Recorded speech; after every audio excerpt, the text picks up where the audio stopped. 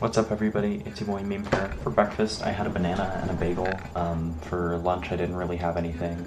For dinner, I had some like turkey, um, like some turkey legs and some um, cabbage, and that was pretty tasty. Um, I'm just hanging out today. Check out this big, gigantic thing I made. Um, whoa! So today I did um, basically just a bunch of stuff on uh, AI, not AI. I am going to mention AI, but I did a bunch of stuff with. Um, I, I just made notes on Amazon EC2 uh, today. Um, I meant to finish the module, but I ended up not. So I'm falling behind a little more. Like I'm still ahead technically. I'm I'm still technically ahead, but I'm falling further and further behind. I'm, I just need to lock in. I just need to lock in, and it'll be fine.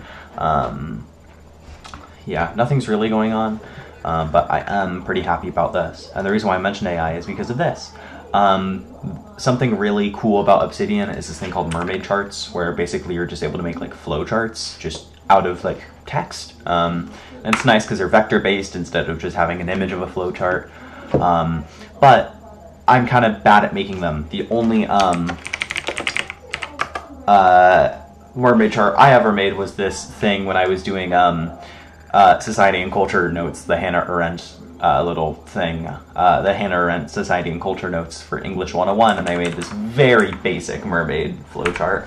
Um, but this is a really nice, uh, fancy one. Um, and it's basically, uh, uh, I don't know. It, I, I don't even really, like, I can see it and I can sort of vaguely know how it works, and it did this stuff with colors, but I actually asked Claude to make this one. I asked Claude 3.5 Sonnet. Um, and I don't really use Claude, I'm primarily a, a ChatGPT type of guy.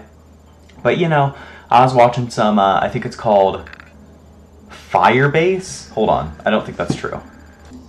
Okay, it's called Fireship. Firebase, I think, is a Google thing. Um, but yeah, uh, I watched this Fireship video about how Claude is like able to um, do uh, control your computer and stuff now, and I, I never tried that out, and I was like, hmm, you know, maybe I'll try Anthropic's Claude and so I took a screenshot of this little flowchart that they had in their Amazon AWS Academy video, and I was like, hey, put this in, like, turn this into an Obsidian Mermaid flowchart.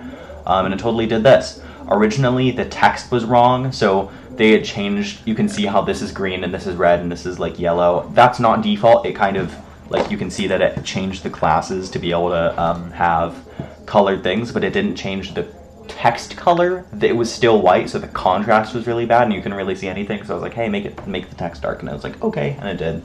Um, so yeah, that was a cool uh, AI usage thing I did today.